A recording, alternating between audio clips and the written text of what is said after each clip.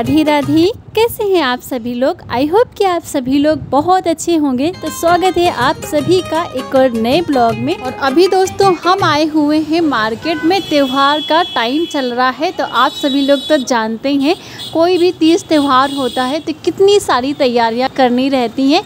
और ख़ासकर शॉपिंग का तो एक दो दिन पहले से ही काम शुरू हो जाता है।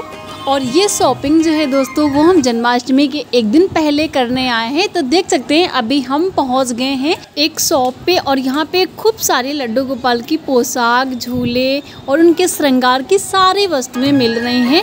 और सच बताएँ तो आजकल मार्केट का कुछ अलग ही नज़ारा है। चारों तरफ़ यही दुकानें देखने को मिल रही हैं और सब दुकानें जो है बहुत ही सुंदर सुंदर पोशाकों के साथ सजी हुई हैं।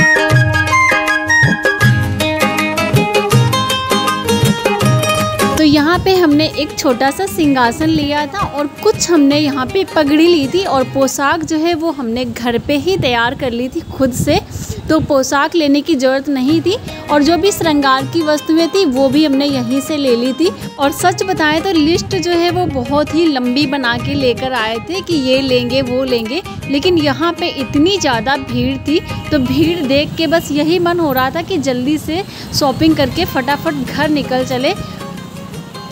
फ़िलहाल जितनी भी हमें ज़रूरत थी चीज़ें, सारी चीज़ें हमने ले ली थी, उसके बाद निकल चुके हैं घर के लिए। और ये शॉपिंग करते करते बहुत ही ज़्यादा टाइम हो गया था। वही लगभग के छः बज रहे होंगे, तब जाके हम आ चुके हैं वापस अपने घर। मार्केट से आने के बाद थोड़ी देर आराम की, उसके बाद देखिए सुबह लग गई हैं यहाँ पे अपने काम पे और ये कृष्णा की पेंटिंग बना रही हैं, जो कि बहुत ही खूबसूरत है।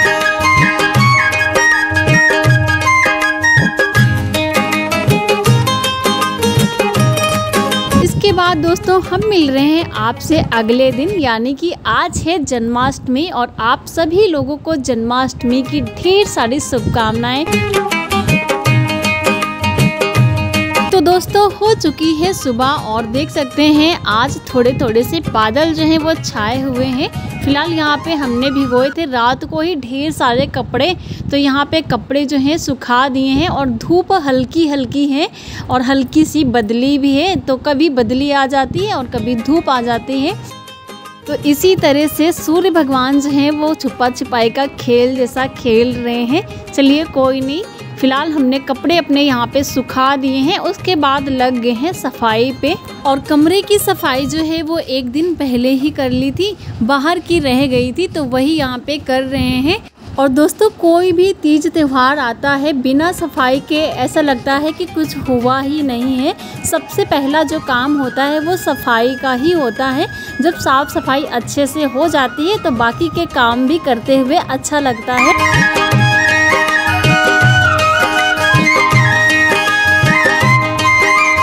जैसे ही साफ़ सफ़ाई का काम कंप्लीट हो पाया था कि वैसे ही शुरू हो गई थी जोरों वाली बारिश और हल्की सी बदली ही थी, पता भी नहीं चला कि कब बारिश शुरू हो गई। तो जितने भी हमारे कपड़े पड़े थे, वो दोबारा से फिर से सारे गीले हो गए।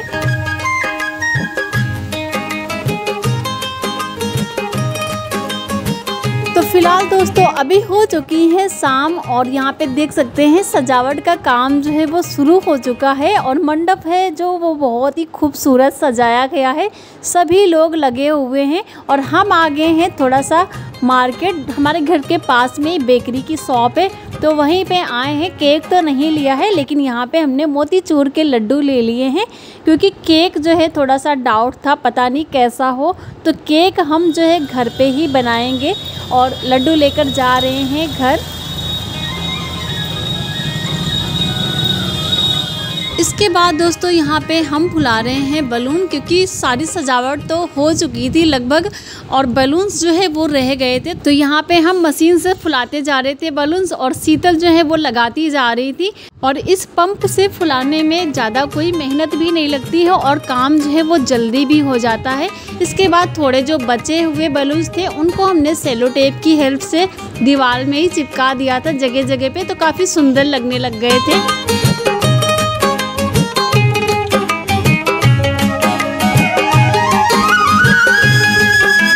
बाद थोड़ी सी जो मंडप में कमी लग रही थी, वो हमने यहाँ पे पूरी कर दी थी। फूल जो है वो बहुत ही ज़्यादा रखे थे तो हमने सोचा थोड़े से और भी यूज़ कर लेते हैं। तो हमने थोड़े से यहाँ पे और भी ज़्यादा बिछा दिए हैं। उसके बाद थोड़ा सा झूला भी सही कर दिया है। एक जगह से हल्का सा तिरछा हो रहा था तो उसको हमने यहाँ पे सही कर दिया है।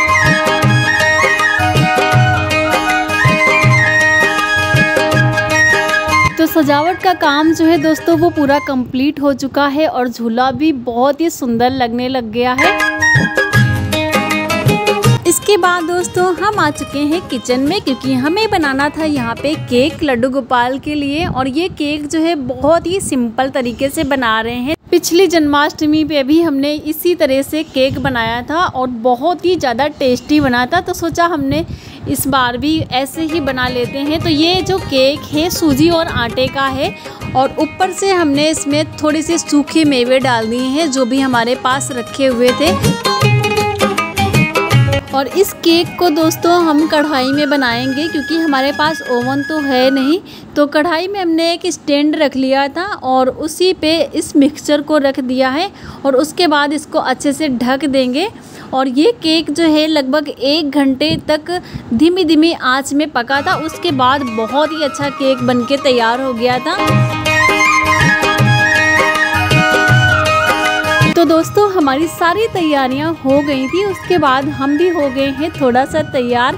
आखिरकार हमारे बाल गोपाल का जन्मदिन है तो थोड़ा सा तैयार होना तो बनता ही है। तो हमने यहाँ पे कॉटन की साड़ी पहन ली है, क्योंकि आज बहुत ही ज़्यादा उमस है। दोपहर में तो बारिश हुई थी, लेकिन इस टाइम जो है, बहुत ही ज़्यादा गर्मी हो रही थी।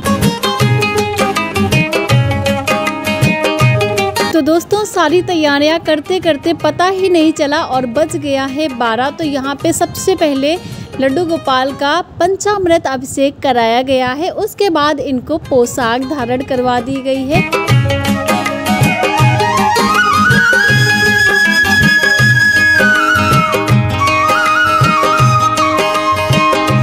इसके बाद जो भी साज श्रृंगार होता है, वो यहाँ पे कुंजू और माधव का श्रृंगार किया जा रहा है। और देख सकते हैं इस श्रृंगार में कुंजू और माधव कितने प्यारे लग रहे हैं। इसके बाद यहाँ पे दर्पण दिखा दिया गया है कान्हा को और दोनों लोगों को सिंहासन पे विराजमान कर दिया गया है।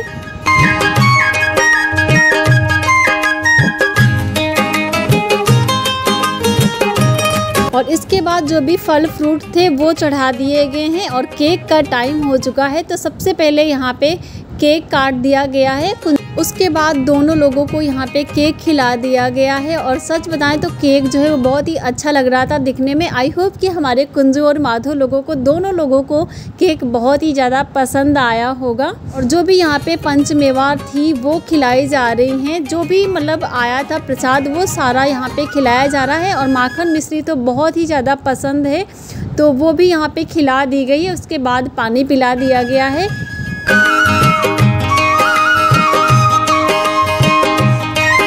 इसके बाद टाइम हो गया है आरती करने का तो यहाँ पे सबसे पहले झूले में बिठा लिया गया है कुंजू और माधव को। उसके बाद यहाँ पे की जा रही है आरती।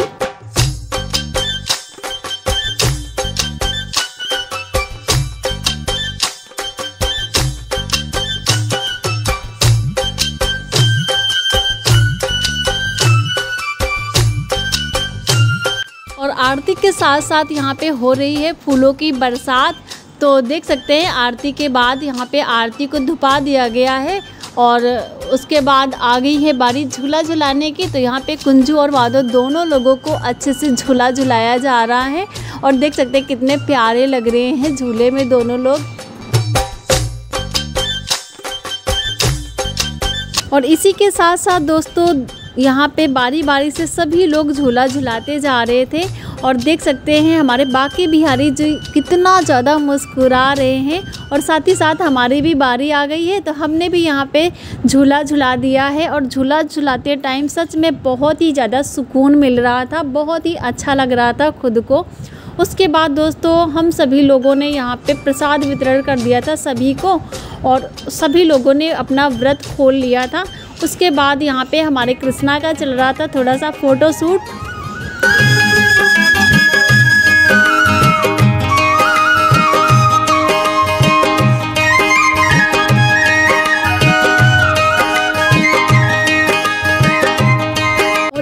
फ़ोटोशूट के साथ साथ दोस्तों टाइम हो रहा था दोनों लोगों को शयन कराने का, क्योंकि काफ़ी ज़्यादा टाइम हो चुका था तो यहाँ पे दोनों लोगों का श्रृंगार उतार दिया गया। उसके बाद यहाँ पे थपकी दे दे के प्यार से सुलाया जा रहा है, और पहले तो कह रहे थे कि बेड पे सुलाने को, लेकिन बाद में सुभी ने पता नहीं क्या ही सुभी के मन में आया कि उन्होंने झूले में ही सुला दिया। ऐसा मानो कि झूले में ही सोना चाहते हैं वो। तो यहाँ पे लड्डू गोपाल जी हमारे सो गए हैं और दोस्तों इसी के साथ इस ब्लॉग को करते हैं। यहीं पे समाप्त। अच्छा लगा हो तो प्लीज़ लाइक, कमेंट, शेयर कर दीजिएगा और हमारे चैनल को भी सब्सक्राइब कर लीजिएगा। मिलते हैं अगले ब्लॉग में। तब तक के लिए राधे राधे